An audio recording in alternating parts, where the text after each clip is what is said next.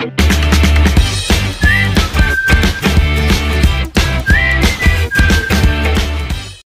everyone, I'm Shivam Pasari and welcome to Ace In Academy. Now as you can see from the title of this video, our topic for today is semicircle. In this first lecture of semicircle, we will discuss all its fundamental and basic properties. So without wasting any further time, let's begin with our topic. Now the definition of a semicircle is that it is a 1D locus of points that forms half a circle.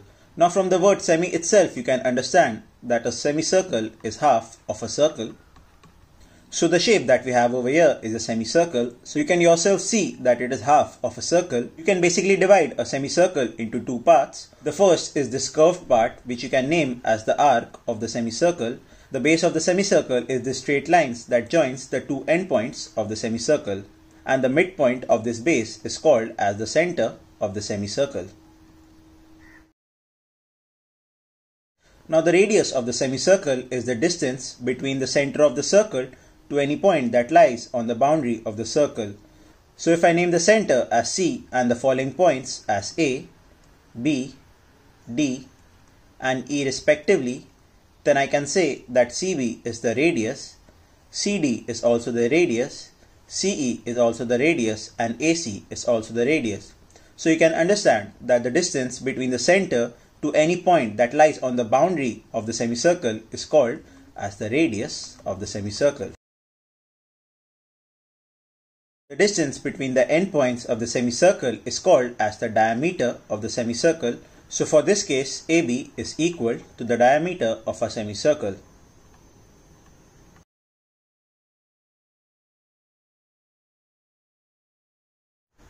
If I name the endpoints of the semicircle as A and B, then the perimeter of the semicircle is the distance travelled from A to B along the arc of the semicircle plus the distance travelled from B to A along the base of the semicircle. So in the first part, the distance is from A to B along the arc of the semicircle and then from B to A along the base of the semicircle.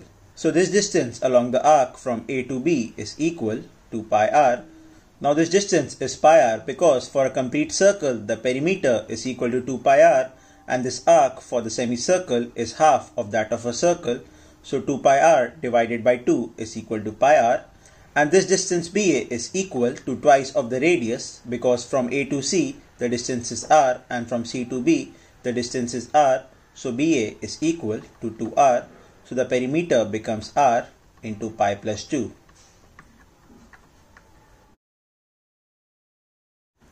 The area of a semicircle is simply the half of that of a circle so if the area of a circle is equal to pi r square, then the area of a semicircle is equal to pi r square divided by 2.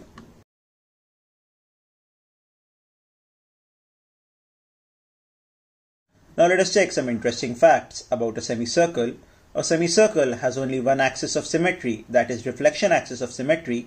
So if I draw a straight line that passes through the center of the semicircle and which is perpendicular to the base of the semicircle, is the axis of symmetry of a semicircle and it is called as the reflection axis of symmetry. You can easily see that the part 1 and part 2 are symmetrical about this line, so this line is the axis of symmetry of the semicircle. There is one interesting and important theorem related to a semicircle. If I take any point that lies on the arc of the semicircle, let's say this point, and if I name it D, then according to the theorem, the triangle formed by the endpoints of the semicircle and the point lying on the boundary will be always a right angle triangle. So the triangle formed ADB will be a right angle triangle which will be right angled at the point D.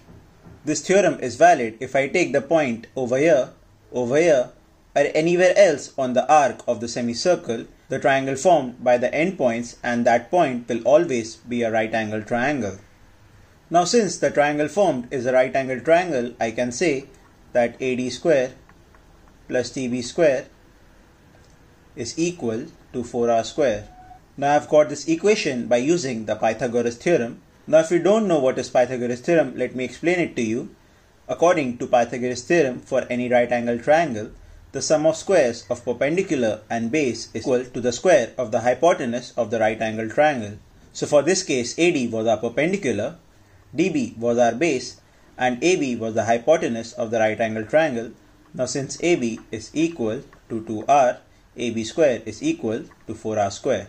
So AD square plus TB square is equal to 4r square. Now if you had any doubt regarding Pythagoras theorem, I have made a separate video on Pythagoras theorem where I have explained this topic very clearly and I've provided the link down in the description. So after watching this video, you can go check that out too.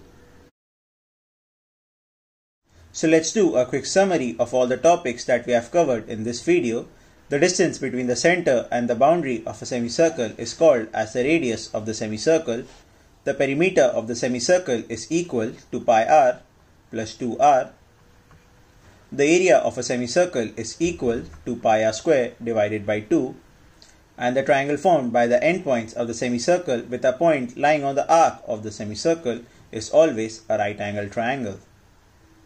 That was all for this video and I hope that you understood all the topics covered in this video and if you have any doubt then you can post your doubts down in the comment section or you can send your doubts to us to our channel's official Instagram or Facebook page and we will surely solve your doubt as soon as possible. Or you can go to the official website of Ace In Academy and you can send your doubts to us from there and all the links are provided down in the description. And if you did like the video then please hit the like button and subscribe to the channel Ace In Academy.